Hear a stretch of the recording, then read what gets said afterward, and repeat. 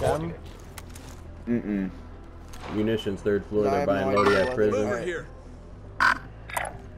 Destination marked. I have I've been using like the both. Uh, Don't bother.